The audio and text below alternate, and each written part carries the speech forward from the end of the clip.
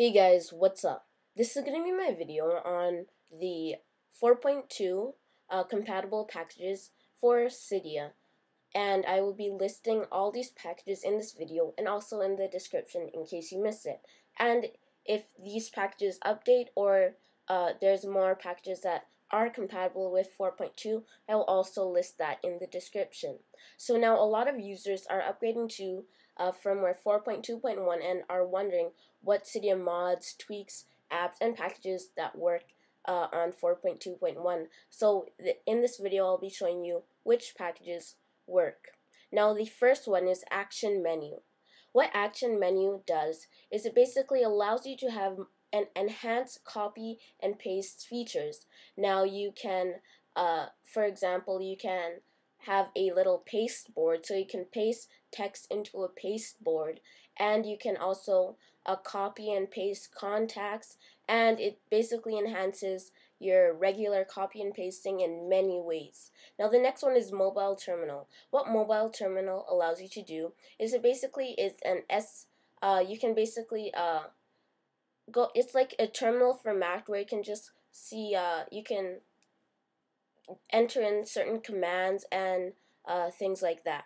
Now the next one is iFile. What iFile allows you to do is it is a mobile SSHing uh, feature into your iPhone, iPod Touch, or iPad so that you can just uh, edit and view files or add files on iFile. So the next one is Daemon tool. Now what does what this does is it basically allows you to speed up your device by installing this uh, certain package. Now this will remove packages uh, in on your device to make your device speed up. Now the next one is gridlock. What gridlock allows you to do is it allows you to place icons anywhere on your springboard without following the grid like you regularly would have to. Now uh, this is an iBlank alternative as well. Now, after that is Safari Download Manager. What Safari Download Manager allows you to do is it allows you to have a downloading feature in Safari so you can download a certain uh, packages and downloads or you can download music from Safari to your device and so on. Now the next one is Iconoclasm. Now what Iconoclasm allows you to do is it allows you to have certain layouts, uh, springboard layout so you can customize it to whatever you're you would like on your device. Now this is compatible with iOS 4. Now the next one is Locktopus. What Locktopus does is it allows you to password protect your device uh, by uh, when you put your icons into wiggle mode. There will be a little lock and then you tap that lock that will be on your icon when you are in wiggle mode and then uh, you simply can tap that lock and then it will lock that application and the default password for every application that you lock is password until you change it in the settings tab that it has. Now the next one is attachment saver. What attachment saver allows you to do is it allows you to save attachments in mail. After that is switcher mod. Switcher mod partially works on 4.2 which with some of the features that are missing. Now with switcher mod, you basically can uh, it enhances the multitasking feature on your device and you can triple click to uh, close apps after a certain app so then I'll close that whole row out and automatically puts uh, a little uh, minus button over the icon so you don't have to hold all the icons and then do that. And the next one is barrel. Barrel is a studio tweak that allows you to add a different uh, springboard effect when you uh, scroll through your pages now, this does not work for the iPad as it says right here, but you can try it out on the iPad because uh, it does work, but it is a little bit buggy. Now, the next one is Backgrounder. Backgrounder adds true multitasking to iOS 4 and above. So, with Backgrounder, you in regular native iOS 4 multitasking, any app you would open would multitask.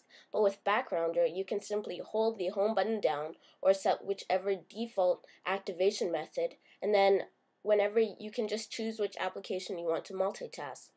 Now, after that is Folder Enhancer. What Folder Enhancer allows you to do is it basically uh, enhances your folder application with the ability to add up to 320 icons within one folder. You can add your folders into your dock on your iPhone, iPod Touch, and iPad. And also you can add a folder within a folder within a folder and so on. And this does work in extension with multi-icon mover. So you can move multi multiple icons into folder enhancer and so on.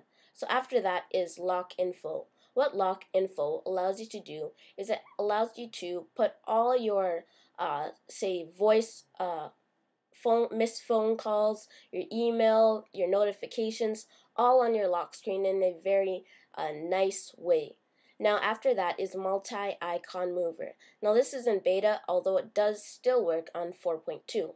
Now you simply can move multiple icons at a time. So then you just put your icons into wiggle mode, then you tap the bottom right of the icon until you see a check mark. Then you could uh, tap as many of those as you want so that you can move a multiple uh, icons into one page. Now the next one is Winterboard. What Winterboard allows you to do is it allows you to customize themes, enable themes, uh, add tweaks, and this is just one of the main essential apps that you should have on firmware 4.2. Now after this is Full Force. What Full Force allows you to do is it allows you to um, make when you have a regular iPhone sized app on an iPad, it basically scales that iPhone app to the iPad so it takes up the whole screen and it isn't as pixelated. So after that is AppSync. What AppSync allows you to do is it allows you to sync your crap your cracked apps from iTunes uh, onto sync your cracked apps from iTunes onto iTunes. Now, after that is Installous. Installous basically allows you to get uh, cracked apps for free. And in Installous 3, it has a new interface. Now, with Pop-Up Blocker, it basically blocks all the pop-ups on your device. Now, the next one is Emoji. Emoji is a, a you basically can add what emoji basically allows you to do is it allows you to add custom animations to your keyboard uh, when you use it and you can simply uh, use it in a text field or whatever you want to use it in. Options on your keyboard. Now, the next one is Smoothboard. What Smoothboard allows you to do is it allows you to smooth, smoothly scroll through all of your pages uh, with one scroll and it doesn't lock in between pages and this partially works with 4.2. Now after that is iWhiteboard. iWhiteboard allows you to uh, draw on your screen and I made a video on that uh, a little before this video. Now the next one is auto close folder. Now this automatically closes your folder once you open up an app from a folder because when you usually open up an app from a folder it leaves the folder open. Now the next one is iconoclasm layout. It has it allows you to do customized layouts on your iPad using iconoclasm layouts.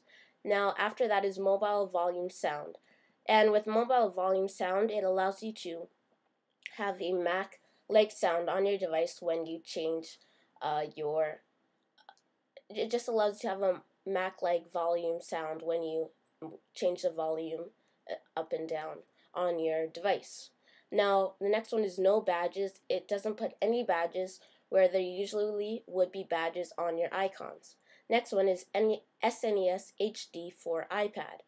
What that does is it basically is a game emulator that is made specifically for the iPad, and you can also use your iPhone or iPod Touch as a controller on that. Now after that is SB settings. SB settings is basically a very useful toggle feature on iOS 4 and above. And you simply slide uh, on the left of your status bar and then after that is activator. What activator allows you to do is it basically allows you to have different activation features. After that is Icy version 2 beta. Now this is a, an alternative Cydia installer, but it doesn't take over the use of Cydia. It just uh, you can just use it in conjunction in conjunction with Cydia. Multi cleaner. Now this makes your multitasking more cleaner and basically that's what it does. Now the next one is Netatalk. What Netatalk allows you to do is it basically allows you to share uh, files between Apple devices. Now, thank you for watching this video on all the compatible 4.2 um, mods, Cydia mods, tweaks, and apps on your device. Please subscribe, please like this video, and thanks for watching.